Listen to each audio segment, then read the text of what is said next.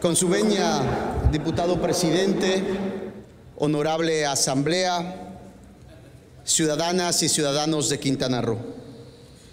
El futuro nos demanda soluciones innovadoras frente a las nuevas problemáticas de la modernidad.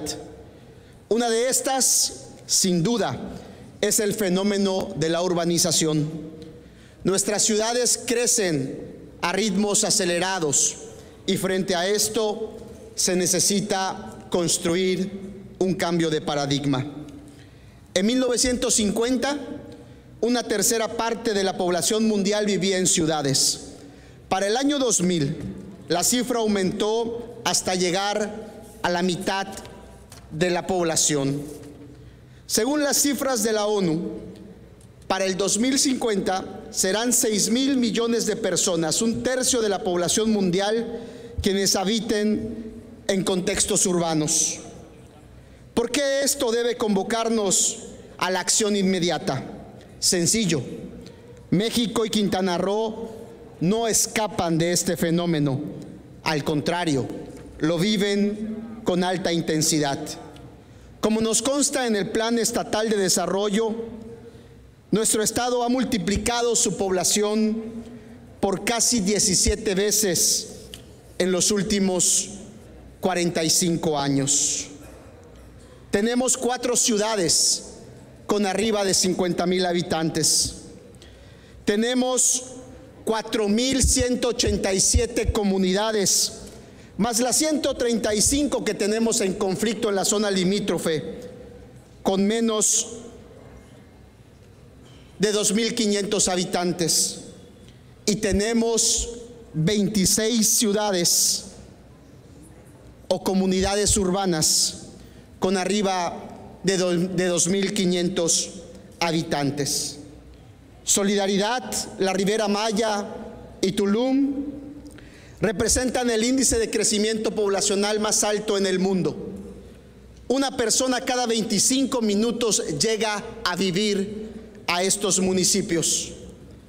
Tenemos en el cuerpo consular registrados 52 naciones, ciudadanas y ciudadanos del mundo están habitando nuestro país y nuestro estado.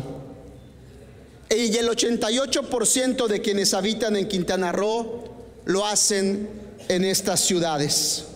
La demanda de derechos y servicios como vivienda, el acceso al agua potable, la electricidad o la inversión pública han significado retos gigantescos para las administraciones públicas.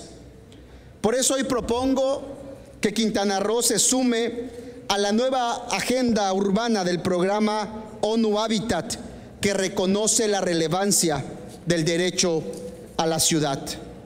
A través de este derecho colectivo se, colocará el ciudadano en el centro de la política pública Buscaremos rescatar el espacio público, el empoderamiento de los ciudadanos y que las calles sean nuestras y pongamos a todos como agentes protagonistas de una política urbanística.